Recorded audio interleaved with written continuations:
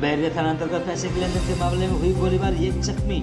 से मोहन सिंह की रिपोर्ट। 25 नवंबर सोमवार को समय शाम आठ बजकर तीस मिनट में बैरे थाना अंतर्गत मलाही टोला गाँव में बकाया पैसे को लेकर हुई आपसी विवाद में गोलीबारी की घटना हुई जिसमें मलाही टोला के एक व्यक्ति अभिमन्यु कुमार को पैर में गोली लगी है, जिन्हें इलाज है जो जीएमसीएच अस्पताल बेतिया में भर्ती कराया गया है। घटना की जानकारी मिलने पर बैरे थाना द्वारा आवश्यक विधि कार्रवाई की गई थी, तथा अभियुक्तों को चिन्हित कर गिरफ्तारी हेतु छापेमारी की जा रही है। उक्त जानकारी देते हुए S D P O two Rajinikanth ने बताया कि आगे कार्रवाई की जा रही है।